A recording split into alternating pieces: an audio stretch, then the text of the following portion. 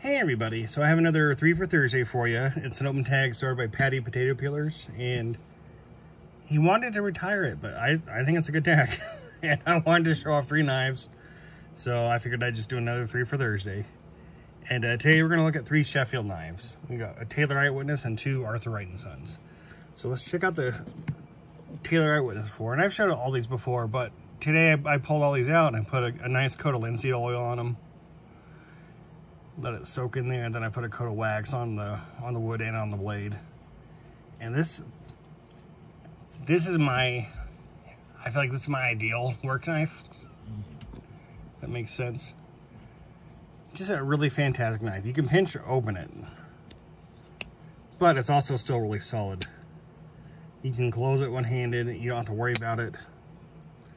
It just feels like a nice secure knife. You have it in your hand. It's not going to close on you but it does, you have the half stop and it feels as a solid lockup on that one. Just a fantastic knife. They have a really beautiful wood. No gapping in it. No lights coming through on any of these.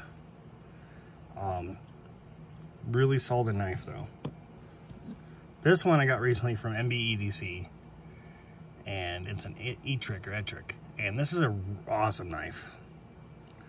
Um, it has a killer pull on it I had to work at it a little bit, so it's, it's probably like an eight or nine. But when you're using it, when you're actually holding it like this, this would be a, a heck of a skinning blade, but um, I, have used it on leather, and I'm not the only one who's used on leather. But you can really get in there and just get a nice, steady, sturdy cut. Um, I got a little bit of patina on there. uh, really beautiful wood. This is an Arthur Wright and Son.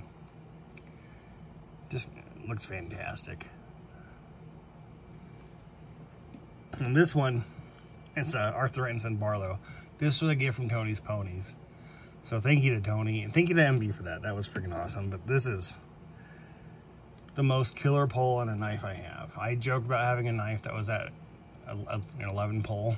Like this one was an 11 pull and I got it. I was able to work it out a little bit. This one, I broke my thumbnail everything almost every time. So let's see if I can get ooh. It's not easy to open. But that being said, it's not easy to close either. I'm pushing pretty hard on it. Um, that's super easy to close. But it's also very safe. This one, it's not going to close on you. This is a killer knife. No pun intended. And beautiful rosewood on it. And again, I put a code linseed oil on this one too, and that Carnauba wax.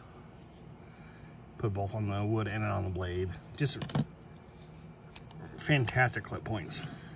Fantastic Barlows. Um, when you compare it to like a USA one, don't get me wrong, I'm not complaining. This is a fantastic knife. I love this one.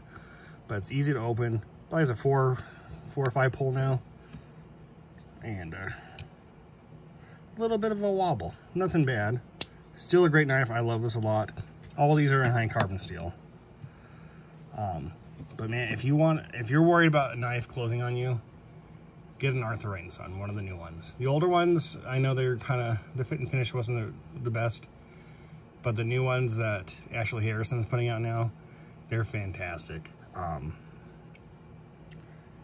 it's not, there's no way it's going to close on you. Taylor Eyewitness, um, still really safe. I don't, I'm not complaining with them. You can, it's not gonna, if you hold it right, it will not close on you. You push it. So, aside from that, if you're, if you were being unsafe, like, like me, this one will not close on you. It's a bit hard to close. But, um, yeah, this is awesome, awesome knife. So thank you so much to MB and to Tony. I picked this one up on James & Company. And I think you can get just about all these on James & Company for really a killer price. Same, almost the same price as this Barlow. Um, this cost me 35 bucks plus shipping. These, I think this one cost me 39 bucks plus shipping. Same thing with this one. I think this one's about about 29 bucks, I think. 29, 35 bucks. Hell of a deal on all these.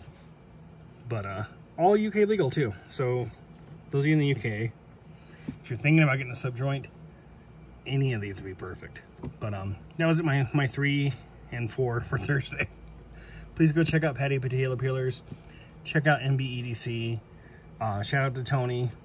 And uh, if you go to James and Company and buy a knife, just type in that you you, uh, you saw it from me. Maybe I'll, maybe I'll get a free knife or something. Anyways, you all have a great night. I will see you all tomorrow. Like and subscribe.